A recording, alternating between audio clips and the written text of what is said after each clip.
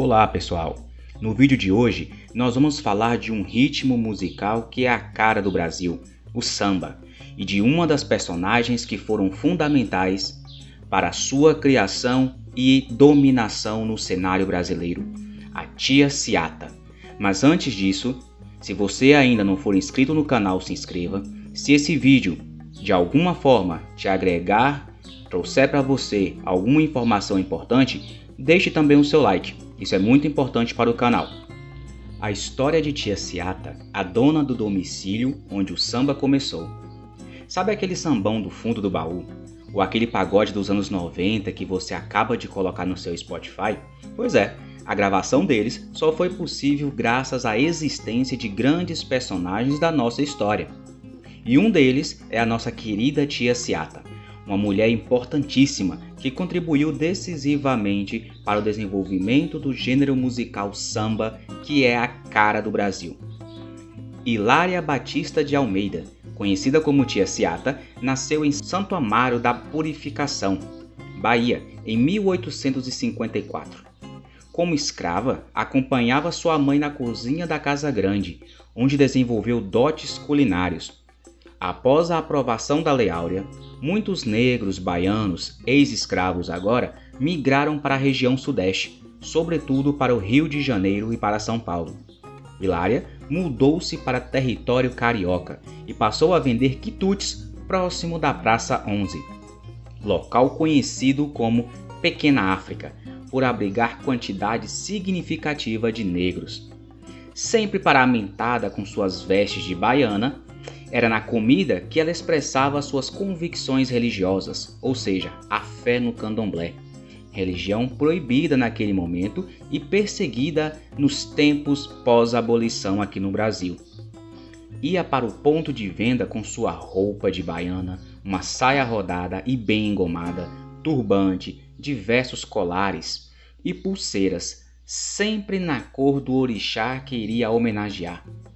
No local de trabalho, passou a organizar sambas de roda, tradição baiana, e virou a mais famosa das tias baianas no centro do Rio de Janeiro.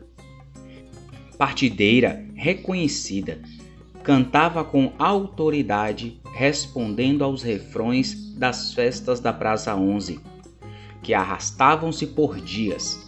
Tia Ciata cuidava para que a comida estivesse sempre quente e saborosa e o samba nunca parasse, fornecendo água e a famosa pinga aos sambistas de roda e a outras tias baianas também.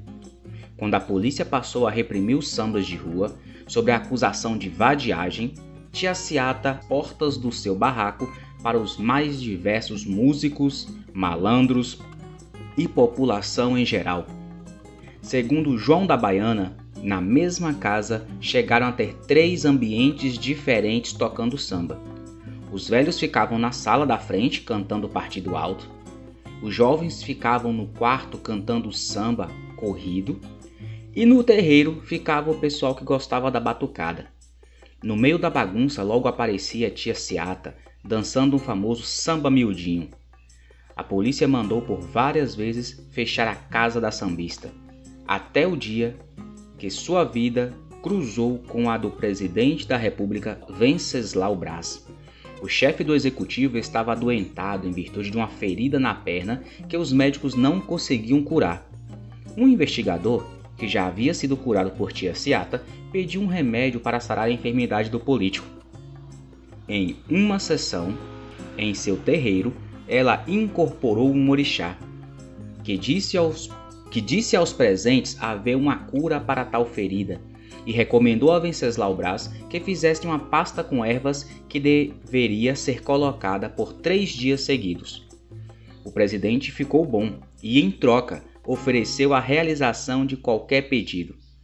Além de um serviço para o marido, Seata requisitou ao político que intervisse para evitar as várias interrupções policiais durante as rodas de samba organizadas em sua residência.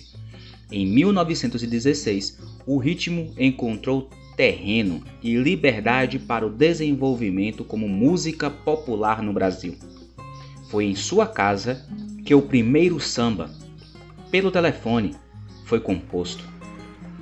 todo ano, durante o carnaval, Tia Seata amava uma barraca na Praça 11, reunindo desde trabalhadores até a fina flor da malandragem.